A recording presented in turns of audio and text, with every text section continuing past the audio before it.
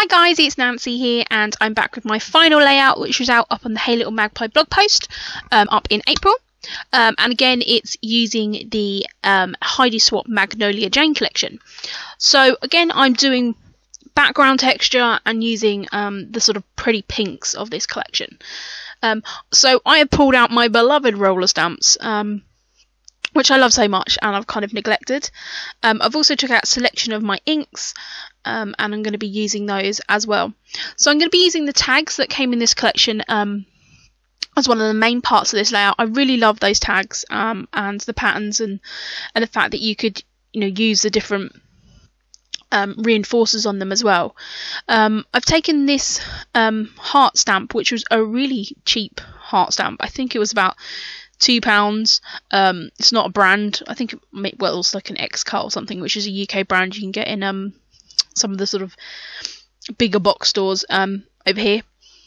And so I've used that, um, and I really like that. I didn't use it on a block; I just used it as is. This is an older stencil which came from um, Stampin' Up, I believe. Um, and so I pulled that out, and I'm just going to be putting some grey in. Um, I really I really love doing this. Um, so you're going to get really bored of me going back to doing lots and lots of background texture, but I don't really want to apologise it because I like it.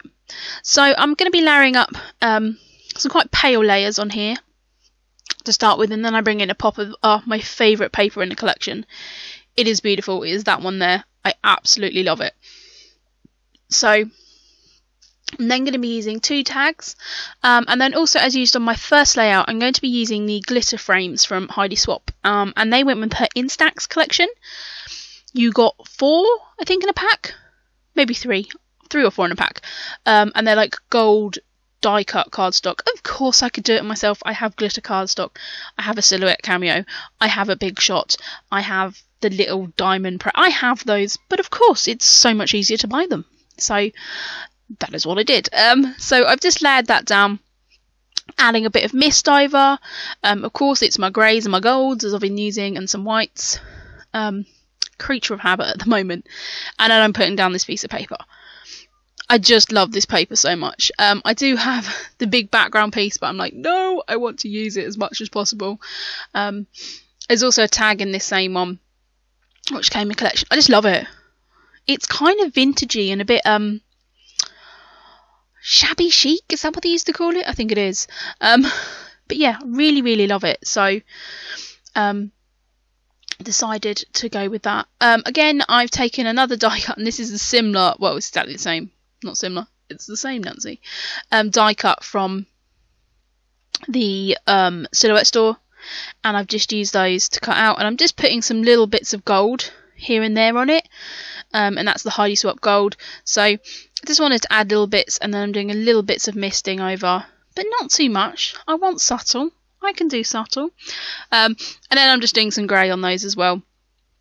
I really like the glossy gold in this collection um, with those sort of more muted colours. That tag is beautiful. That has um, a sort of whitewash wall.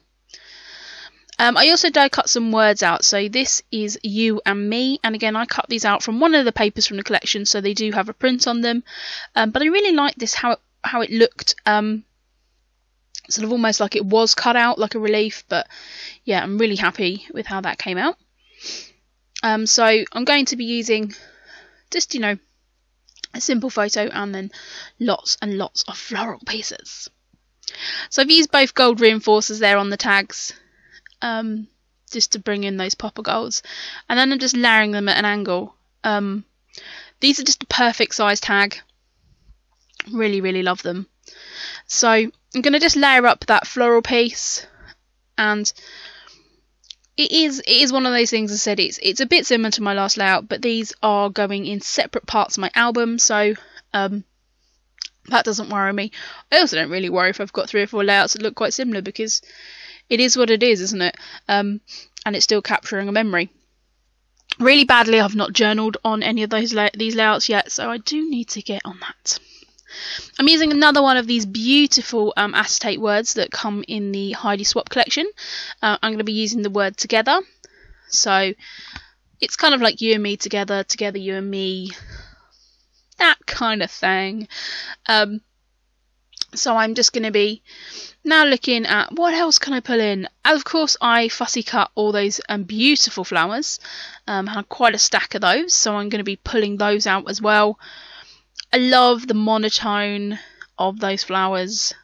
It's just beautiful. They're slightly tinted because there is a slight um, sort of like pinky, beigey sort of tone to them. That makes sense to me.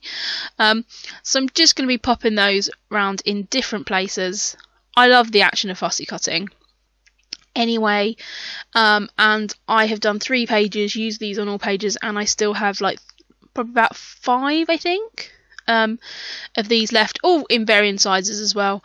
Um, so what I'm trying to do here is not have to lift everything up, so I am just sort of sneaking some bits of glue underneath as well. Because I've used that black glitzy frame around my photo, it does make the photo pop, because I'm aware that your photo could get a little bit lost. And now it's just, I'm just going to keep popping bits in. um, I have this little bird down there, which I really like. I fussy cut these birds out. I didn't fussy cut these birds out, sorry. I fussy, you know, used a fussy sort of cut on um, the silhouette. I think they go as um, Zentangle birds in the store. And I really like them. And so, yeah, I've put birds on the last layout as well. And birds don't really have anything to do with you and me. I mean, you know, me and my boyfriend aren't particularly bird fanatics. I don't know how bird. A bird is just kind of sweet and lovely, isn't it? So that will do.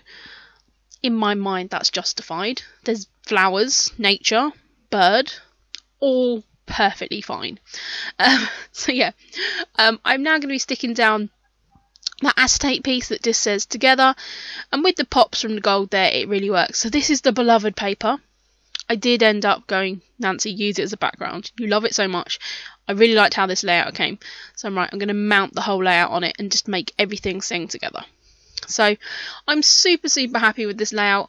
Love how it came out. I'm going to add some um, of these Nuvo crystal drops around, just around, you know, into the background, to add a little bit of spangly texture. And then that is it for these um, three layouts from this collection. I really enjoyed using this collection. Um, I will put a link down to the blog post below so you can go and see all the photos and I'll also add them to my Pinterest. So thanks very much guys for watching and I will speak to you all again very, very, very, very soon. Thank you. Bye.